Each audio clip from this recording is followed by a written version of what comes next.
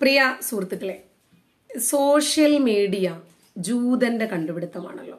ഈ ഫേസ്ബുക്ക് ആണെങ്കിലും വാട്സപ്പ് ആണെങ്കിലും ട്വിറ്റർ ആണെങ്കിലും ഇൻസ്റ്റാഗ്രാം യൂട്യൂബ് ഇതെല്ലാം ജൂതൻ ഉണ്ടാക്കിയതാ ജൂതന്മാരെയോ?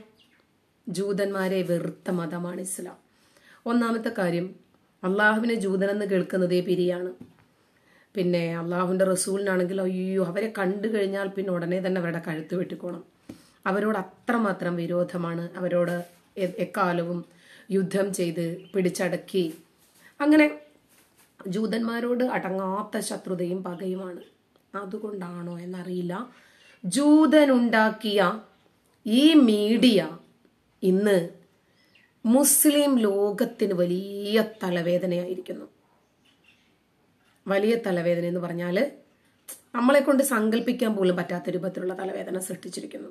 കാരണം അതിലൂടെ ഫേസ്ബുക്ക് പോസ്റ്റുകൾ ഏ വീഡിയോകൾ എന്താണ് ഓഡിയോ ആണെങ്കിൽ പിന്നീട് എഡിറ്റ് ചെയ്ത് ഫോട്ടോ ഒക്കെ വെച്ചിട്ട് ഇതെല്ലാം ഇസ്ലാമിനെ കുറിച്ചാണ് എന്നുള്ളതാണ് ഇസ്ലാമിന് അടി കിട്ടാനുള്ള കാരണം. ഇപ്പതാ ജൂതൻ വേറൊരു മീഡിയ കണ്ടുപിടിച്ചിരിക്കുന്നു ക്ലബ് ഹൗസ്. എന്തിനാണെന്ന് ഇങ്ങനെ മനുഷ്യനെ ഉപദ്രവിക്കണത്? ഒക്കെ ഹറാമല്ലേ? ക്ലബ് ഹൗസിലൂടെ ആണും പെണ്ണും ഒക്കെ ഇടകലർന്ന് സംസാരിക്കുന്നു. പ്രത്യേകിച്ച് പെണ്ണുങ്ങൾ വീടിന്റെ പുറത്തിറങ്ങാൻ പാടില്ല. ആ സാഹചര്യത്തിൽ സ്ത്രീകൾ ഇരുന്ന് ചർച്ച ചെയ്യുക സജീവമായിട്ട് അതും പുരുഷന്മാരുമായിട്ട്. പുരുഷന്മാരുമായിട്ട് ചാറ്റ് ചെയ്യാൻ പാടുണ്ടോ? പുരുഷന്മാരുമായിട്ട് സൗഹൃദമെങ്കിലും പങ്കിടാൻ പാടുണ്ടോ ഒരു പെണ്ണിനെ സംബന്ധിച്ചിടത്തോളം? എന്തിനാണെന്ന് അള്ളാഹു ഇഷ്ടപ്പെടാത്ത ഈ മേഖലയൊക്കെ ഇത് കണ്ടുപിടിച്ചിരിക്കുന്നത് തന്നെ. അതിലേറെ രസകരം ഈ ഇസ്ലാമിക പ്രഭാഷകരൊക്കെ പണ്ട് കാലത്ത് ഫോട്ടോ എടുക്കുന്നതിനെ അങ്ങേയറ്റം വിമർശിച്ചിരുന്നു. പക്ഷെ ഇന്ന് അവരുടെ വീഡിയോയും ഫോട്ടോയും തന്നെ നമ്മൾ ഏതാണ്ട് ഒരു രണ്ടര മണിക്കൂർ മൂന്ന് മണിക്കൂറൊക്കെ കണ്ടുകൊണ്ടിരിക്കേണ്ടി വരുന്നു. കാരണം പിന്നെ അവരുടെ വീഡിയോ പിന്നെ ഓഡിയൻസ് ഉണ്ടാവും. അങ്ങനെ സ്ത്രീകളുടെ ശബ്ദം പോലും മറയാണ് എന്ന് പറഞ്ഞിരുന്ന ആൾക്കാർ കുറച്ചൊരു മാറ്റമൊക്കെ വരുത്തിയിട്ടുണ്ട്. കാരണം ഓടുന്ന കാലത്തിനൊപ്പം ഓടിയാ ഓടാൻ പറ്റിയില്ലെങ്കിലും ഒന്ന് ശ്രമിക്കുകയെങ്കിലും ചെയ്യണമല്ലോ എന്ന നിലയ്ക്കാണ് അവരങ്ങനെ കുറച്ച് ഇൻസ്റ്റിറ്റ്യൂഷൻസ് ഒക്കെ തുടങ്ങി പെൺകുട്ടികളെ വെച്ച് പഠിപ്പിക്കാൻ ആരംഭിച്ചു. പെൺകുട്ടികൾക്ക് വിദ്യാഭ്യാസം വേണം എന്ന് ഭാഗികമായിട്ടെങ്കിൽ മാറ്റുവിൻ ചട്ടങ്ങളെ എന്നല്ലേ അതല്ലെങ്കിൽ ചട്ടം നമ്മളെ മാറ്റുന്നു അങ്ങനെ ഇതിപ്പോൾ ചട്ടമാണ് നമ്മളെ മാറ്റിയിരിക്കുന്നത്. അങ്ങനെ കാലം മാറി കഥ മാറി നിയമങ്ങൾ മാറി മാറി വരുന്നു. നമ്മുടെ മുസ്ലിം യുവതലമുറ തന്നെ ചിന്തിക്കാൻ തുടങ്ങിയിരിക്കുന്നു. അവർ പല കാര്യങ്ങളും നമ്മളോട് ചോദ്യം ചെയ്യുന്നു. അതിന് ഉത്തരം പറയാൻ സാധിക്കാതെ വരുമ്പോഴേക്ക് അവരെ അടിച്ചമർത്തിയിട്ട് കാര്യമില്ല. അവർ ഉത്തരം കിട്ടുന്ന സോഴ്സുകൾ അന്വേഷിക്കും. അങ്ങനെ അവർ ഉത്തരങ്ങൾ കണ്ടുപിടിക്കും. ഇപ്പോ നമുക്കിന്ന് പരിചയപ്പെടാനുള്ളത് സിംസാറുൽ ഹക്ക് ഹുദവിയാണ്. സിംസാറുൽ ഹക്ക് ഹുദവി കേരളത്തിലേറെ പ്രശസ്തനാണ്. അദ്ദേഹത്തിന് ഒരു പ്രോഗ്രാമിനൊക്കെ വിളിക്കണമെങ്കിൽ ഭയങ്കര പ്രയാസമാണ്. പ്രൈവറ്റ് സെക്രട്ടറിയും അങ്ങനെ ഒരുപാട് നൂലാമാലകളുണ്ട്. നല്ല പ്രതിഫലവും കൊടുക്കണം. നല്ല കറൻസി ഉണ്ടെങ്കിലേ കക്ഷി വരുള്ളൂ. കക്ഷി വന്നിട്ട് പ്രസംഗിക്കുന്നത് പ്രവാചകന്റെ പട്ടണിയെ കുറിച്ചിട്ടാണ്. ഇതാണ് ഇവരുടെയൊക്കെ ഫേവറേറ്റ് ആയിട്ടുള്ള ടോപ്പിക് അപ്പൊ ഇദ്ദേഹത്തെ നമുക്കറിയാമല്ലോ. ഡിപ്ലോമാറ്റിക് മൗലവി എന്നാണ് ഇദ്ദേഹത്തെ അറിയപ്പെടുന്നത്. ഓണം അതല്ലെങ്കിൽ അമ്പലം അല്ല ഓണം ബേർഡേ അതിനൊക്കെ ആരെങ്കിലും നമ്മളെ ക്ഷണിച്ചാൽ പതിയെ അങ്ങോട്ട് പോകുക. ഒരു മിഠായി എങ്ങനെ വാങ്ങിച്ച് തിന്നിട്ട് ഞാനിപ്പോൾ ഭക്ഷണം കഴിച്ചിട്ടേ ഉള്ളൂ. അതുകൊണ്ട് എനിക്ക് വേണ്ട എന്ന് പറഞ്ഞിട്ട് അപ്പം നമ്മൾ പോയതുമായി അവർക്ക് വിരോധവുമില്ല. നമ്മൾ അതിനകത്ത് പാർട്ടിസിപ്പേറ്റ് ചെയ്തതുമായി അവർക്ക് സന്തോഷം നമുക്ക് സന്തോഷം. അങ്ങനെ ഡിപ്ലോമാറ്റിക് ആവണം നമ്മൾ എന്നാണ് അദ്ദേഹം നമ്മളെ പഠിപ്പിച്ചു തന്നത്. അതുപോലെ ക്ഷേത്രത്തിൽ എന്തെങ്കിലും പിരിവ് ചോദിച്ച ആരെങ്കിലും വരുമ്പോഴേക്ക് അവന്റെ പോക്കറ്റിൽ ഒരു അമ്പത് രൂപ വെച്ച് കൊടുത്തേക്ക് കുഴപ്പമില്ല. ഞാൻ അദ്ദേഹത്തെ ഒന്ന് ഇൻട്രൊഡ്യൂസ് ചെയ്യുന്നതാണേ. അപ്പോൾ അവർ റെസിപ്റ്റ് ഏ റെസിപ്റ്റ് വേണ്ട റെസിപ്റ്റ് ഹറാമില്ല റെസിപ്റ്റ് വേണ്ട.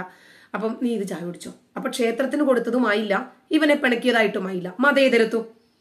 ഇങ്ങനെ ഡിപ്ലോമാറ്റിക് ആകാൻ പഠിപ്പിച്ചു തന്നു പിന്നെ അദ്ദേഹം പറഞ്ഞ പ്രധാനപ്പെട്ട മറ്റൊരു വസ്തുത. സ്ത്രീ ഡോക്ടറെയാണ് ഒരു സ്ത്രീ കാണിക്കേണ്ടത്. ഗൈനക്കോളജിസ്റ്റിനെ കാണാൻ പോകുമ്പോഴത്തേക്കിന് കിഴങ്ങനായ ഭർത്താവെ നീ പുറത്തിരിക്കുമ്പോൾ ആൺ ഡോക്ടർ അല്ലേടാ നിന്റെ ഭാര്യയെ നോക്കുന്നത്. അത് പാടുണ്ടോ എന്നൊക്കെ ചോദിച്ചിട്ട് പുരുഷന്മാരെയൊക്കെ കുറെ ചീത്ത പറഞ്ഞിട്ടുള്ള ആളാണ് പിന്നെ ഇദ്ദേഹം ചെമ്മാട് പോലെയുള്ള പ്രദേശങ്ങളൊക്കെ നമുക്ക് ഇങ്ങനെ റെക്കമെൻഡ് ചെയ്യുന്നുണ്ട്. പ്രസവവേദനയോ അങ്ങനെ എന്തെങ്കിലും. ഗൈനക്കോളജി പ്രശ്നം എന്തെങ്കിലും ഉണ്ടായാൽ അങ്ങനെ പെൺ ഡോക്ടറെ മുസ്ലിം പെൺ ഡോക്ടറെ തന്നെ ഒരു പെണ്ണ് കാണാൻ പാടുള്ളൂ. ഇനി മുസ്ലിം ലേഡികൾ ഇല്ലെങ്കിൽ ആ മുസ്ലിമിൽ മുസ്ലിം പുരുഷൻ രണ്ടാമത്തെ പ്രയോറിറ്റി അവർക്ക്. പിന്നെ മൂന്നാമതായിട്ടാണ് ഹിന്ദു സ്ത്രീ. അതും കിട്ടിയിട്ടില്ലെങ്കിൽ മാത്രമേ അമുസ്ലിങ്ങളായിട്ടുള്ള ആൺ ഡോക്ടർമാരുടെ അടുത്തേക്ക് നമ്മൾ പോകാൻ പാടുള്ളൂ എന്നാണ് ഈ ഡിപ്ലോമാറ്റിക് മൗലവി നമ്മളെ പഠിപ്പിച്ചു തന്നത്. ഇപ്പോൾ അദ്ദേഹം കൊണ്ടുവന്നിരിക്കുന്ന ഒരു പ്രധാനപ്പെട്ട പ്രസ്താവന കേരളത്തിൽ ആർക്കൊക്കെ അംഗീകരിക്കാൻ പറ്റും എന്നൊന്നും എനിക്കറിയില്ല. എന്തായാലും നമുക്കൊന്ന് കേൾക്കാം. നിന്റെ മുമ്പ് നിനക്ക് കാണാനോ നോക്കാനോ പാടില്ല നിന്റെ ഫ്രണ്ട്സുകളെ നീ സെൻസർ ചെയ്തോ ഇന്നത്തെ രാത്രി. നേരം പുലരുന്നതിന്റെ മുമ്പ് നിനക്ക് കാണാനോ നോക്കാനോ പാടില്ലാത്ത അന്യ ജെൻഡറിലുള്ള ആൺകുട്ടികളോ പെൺകുട്ടികളോ ഫേസ്ബുക്ക് ഉപയോഗിക്കുന്ന മുസ്ലിം യുവാക്കളോടും യുവതികളോടുമാണ് ഉസ്താദിന്റെ ഈ പ്രസംഗം. ഉപദേശം കേൾക്കുക.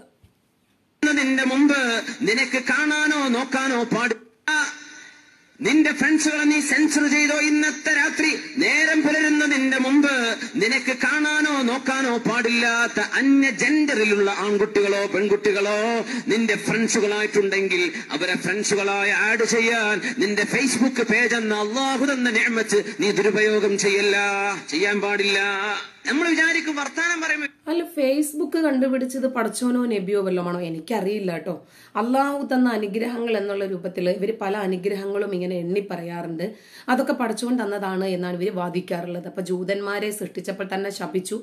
ഓരോ വിശ്വാസിയും ഒരു ദിവസം പതിനേഴു തവണ തുടിക്കുന്ന ഹൃദയത്തിന് മുകളിൽ കൈവച്ചുകൊണ്ട് ജൂതനെ ശപിക്കാറുണ്ട്.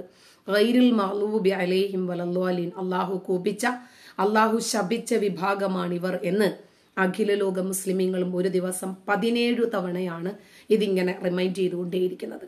അള്ളാഹു ശപിച്ചവർ അള്ളാഹു കോപിച്ചവർ അള്ളാഹു വഴിപിഴപ്പിച്ചവർ ഇങ്ങനെ പറയുന്ന ഈ വിഭാഗം അവരുടെ ബ്രെയിൻ ഉപയോഗിച്ച് കണ്ടുപിടിച്ച ഈ ഫേസ്ബുക്കും അള്ളാഹുവിന്റെ അക്കൗണ്ടിൽ തന്നെ വന്നു. ഓക്കെ നീ പറയുന്നത് പോലും ഹറാമല്ലേ? നിന്റെ മെസ്സേജുകൾ ഹറാമല്ലേ? നീ ശബ്ദം അയച്ചു അയച്ചുവിടുന്നത് ഹറാമല്ലേ? അവരുമായി കോണ്ടാക്ട് കീപ്പ് ചെയ്യുന്നത് ഹറാമല്ലേ? വെറും വ്യഭിചാരം മാത്രം ഹറാം? കണ്ണുകൾക്ക് വ്യഭിചാരമുണ്ട്.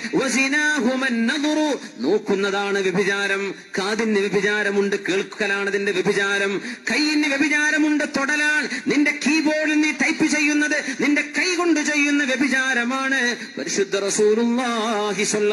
വസല്ലം ഇതൊക്കെ തിന്മയാണെന്ന് മനസ്സിലാക്കിയിട്ട് വലിയ തിന്മയിലേക്ക് എത്തുന്നതിന് മുമ്പ് അള്ളാഹുലേക്ക് തൂപ ചെയ്ത് മടങ്ങിക്കോ. യാ ഫുദൈൽ ഫുദൈൽ എന്നവരെ അറുപത് വയസ്സായ എനിക്ക് ഇനി രക്ഷപ്പെടാൻ വഴിയുണ്ടോ? ഇനി രക്ഷപ്പെടാൻ വഴിയുണ്ടോ? ആയിരവും രണ്ടായിരവും പെൺകുട്ടികൾ തന്റെ ഇത് കീബോർഡ് ഉപയോഗിച്ചുകൊണ്ട് തന്നെയാണ് മുസ്ലിം യുവാക്കൾ കമ്പ്യൂട്ടറിലൂടെയൊക്കെ ഇത് കണ്ടുകൊണ്ടിരിക്കുന്നത് എന്നുള്ളതാണ് ഇതിലെ ഹ്യൂമർ. പിന്നെ ഈ വീഡിയോ എനിക്ക് കിട്ടുന്നത് ഫേസ്ബുക്കിലൂടെയാണ് ഒരു സ്ത്രീ പോസ്റ്റ് ചെയ്തതിൽ നിന്നാണ് എനിക്ക് കിട്ടിയത്. അപ്പം ഈ സ്ത്രീ സിൻസാർ കുഹ്ദവിയുടെ ഫ്രണ്ടാണോ എന്ന് എനിക്കറിയില്ല. എന്ത് തന്നെ ആയാലും എത്ര മുസ്ലിം യുവാക്കൾ യുവതികൾ ഈ ഉപദേശം ഈ കാലഘട്ടത്തിൽ അഡ്മിറ്റ് ചെയ്യുമെന്ന് എനിക്കറിയില്ല. എന്ത് തന്നെ ആയാലും ഇത് അംഗീകരിക്കാൻ പറ്റുന്ന ആധുനിക മനുഷ്യൻ മനുഷ്യനുണ്ടാകുമെന്ന് എനിക്ക് തോന്നുന്നില്ല. അപ്പോൾ ഇതാണ് ശരിയായ മതം. ഫേസ്ബുക്ക് പേജിലുണ്ടെന്ന് അഭിമാനം പറയുന്ന ചെറുപ്പക്കാരാ. ഈ രണ്ടായിരത്തോളം വരെ അറുപത് വയസ്സായ എനിക്ക് ഇനി രക്ഷപ്പെടാൻ വഴിയുണ്ടോ? ഇനി രക്ഷപ്പെടാൻ വഴിയുണ്ടോ? ആയിരവും രണ്ടായിരവും പെൺകുട്ടികൾ തന്റെ ഫേസ്ബുക്ക് പേജിലുണ്ടെന്ന് അഭിമാനം പറയുന്ന ചെറുപ്പക്കാരാ. ഈ രണ്ടായിരത്തോളം വരുന്ന പെൺകുട്ടികളുമായി നീ ചാറ്റ് ചെയ്യുന്നത് അല്ലെങ്കിൽ ഒരു പെൺകുട്ടി തന്റെ ബോയ്സ് ഫ്രണ്ടുകളുമായി ബോയ്സുമായി ഇത് ചാറ്റ് ചെയ്യുന്നത്? പെൺകുട്ടി ഇതൊക്കെ നിന്റെ ഹിജാബിൽ അള്ളാഹു രേഖപ്പെടുത്തിയാൽ ഉസ്താദിനെ തെറ്റിപ്പോയി. ഉസ്താദെ ഈ പെൺകുട്ടി അവളുടെ മാതാവിന്റെ ഗർഭാശയത്തിൽ നാലു മാസം പ്രായമായിരിക്കുമ്പോൾ തന്നെ ഇതൊക്കെ അള്ളാഹു രേഖപ്പെടുത്തുമെന്നായിരുന്നില്ലേ നമ്മൾ ഇതുവരെ പഠിപ്പിച്ചത്? അവൾ എന്ത് ചെയ്യണം? എപ്പോൾ ചെയ്യണം? അപ്പൊ ഇങ്ങനെ ഫേസ്ബുക്ക് ഇന്ന സ്ഥലത്ത് ഇന്ന റൂമിൽ ഇരുന്നിട്ട് ഇന്ന വ്യക്തി ഇത്ര സമയം ഇന്നത് കാണണം ഇന്നത് ചെയ്യണം ഇന്ന ആളുമായിട്ട് ചാറ്റ് ചെയ്യണം. ഇതൊക്കെ നേരത്തെ തന്നെ അള്ളാഹു രേഖപ്പെടുത്തി വെച്ചിരിക്കുന്നു എന്നായിരുന്നു നമ്മൾ ഇതുവരെ പഠിപ്പിച്ചത്. ഹദീസും അങ്ങനെ തന്നെയാണ്. നാല് കാര്യങ്ങൾ അള്ളാഹു മാതാവിന്റെ ഗർഭാശയത്ത് വെച്ച് തന്നെ ഒരു ഗർഭസ്ഥ ശിശുവിനെ രേഖപ്പെടുത്തി വെക്കും. അതിലൊന്ന് അവന്റെ കർമ്മമാണ്. എന്നാണ് നമ്മൾ ഹദീസിലൂടെ പഠിക്കുന്നത്. അത് തന്നെയാണ് പഠിപ്പിക്കുന്നതും ഹദീസ് പ്രമാണങ്ങളിൽ ഉള്ളതും അത് തന്നെയാണ്. അപ്പോൾ ഇത് അള്ളാഹു പിന്നെയും എഴുതുന്നു എന്ന് പറയുമ്പോൾ മനസ്സിലാകാത്തത് കൊണ്ട് പറഞ്ഞതാണ്. രേഖപ്പെടുത്തപ്പെട്ട കിതാബുകളാണ്. ഡിജിറ്റൽ കിതാബുകളാണ്. ഇതല്ലാഹു രേഖപ്പെടുത്തി കഴിഞ്ഞാൽ എത്ര വലിയ കിതാബുമായിട്ടാണ് നാളെ അള്ളാഹുവിനെ കണ്ടുമുട്ടാൻ പോകുന്നത്? വിചാരണയില്ലേ നാളെ? നാളെ ഹിസാബില്ലേ? നാളെ അള്ളാഹിന്റെ മുമ്പിലേക്ക് വരണ്ടേ? നമ്മൾ ഈ കാണുന്ന എത്ര വലിയ വിചാരണകൾ നമ്മളിൽ ഓരോരുത്തരും നേരിടേണ്ടി വരുമെന്നും എത്ര കിതാബുകളുമായിട്ട് നമ്മൾ ചെയ്ത നല്ലതും ചീത്തയും ഒക്കെ എഴുതി വെച്ച എത്ര കിതാബുകളുമായിട്ട് നാളെ മലക്കുകൾ നാളെ അള്ളാഹുവിന്റെ കോടതിയിൽ പ്രത്യക്ഷപ്പെടുമെന്നും ഒന്ന് ചിന്തിക്കുക. ഈ കാലഘട്ടത്തിലും ഇങ്ങനത്തെ ശുഷ്കിച്ച ചിന്താഗതിക്കാരായ ആൾക്കാരുണ്ട്. ഇനി മുഹമ്മദ് നബി ഈ കാലഘട്ടത്തിന്റെ പ്രവാചകനായിരുന്നെങ്കിൽ നമുക്കിതെന്തെങ്കിലും ഉപയോഗിക്കാൻ പറ്റുമോ പോട്ടെ. ഈ സിംസാറിലൊക്കെ ഹുദവിയുടെ ഈ സ്പീച്ച് നമ്മൾ കേട്ടത് എങ്ങനെയാ? ഇത് നമുക്ക് കേൾക്കാൻ പറ്റുമായിരുന്നു നബിയുടെ കാലഘട്ടത്തിലായിരുന്നെങ്കിൽ അപ്പോൾ ഏതൊക്കെ തരത്തിലുള്ള പുരോഗമനങ്ങളാണ് ഇസ്ലാം അനുവദിക്കുന്നത് എന്നൊന്ന് ചിന്തിച്ചു നോക്കുക. ഈ മതം പ്രാകൃതമാണോ അല്ലേ? ആ കാലഘട്ടത്തിൽ എങ്ങനെയായിരുന്നു? അതുപോലെ തന്നെ ഇങ്ങനെ ഇപ്പോൾ സിംസാറിലൊക്കെ ഹുദവി ഫേസ്ബുക്കിൽ ഉപയോഗിക്കുന്നുണ്ട്. അദ്ദേഹത്തിന്റെ വീഡിയോ കിട്ടിയത് നമുക്ക് ഫേസ്ബുക്കിലൂടെയാണ് അപ്പോൾ അദ്ദേഹം ഫോട്ടോ എടുക്കുന്നുണ്ട് ക്യാമറ ഉപയോഗിക്കുന്നുണ്ട് യൂട്യൂബ് ഉപയോഗിക്കുന്നുണ്ട് മൈക്ക് ഉപയോഗിക്കുന്നുണ്ട് വാട്സപ്പ് ഉപയോഗിക്കുന്നുണ്ടാകും. ഇതൊക്കെ ഹറാമാണോ? ആ അള്ളാഹു തന്ന അനുഗ്രഹമാണല്ലേ? ശരി പോകാം.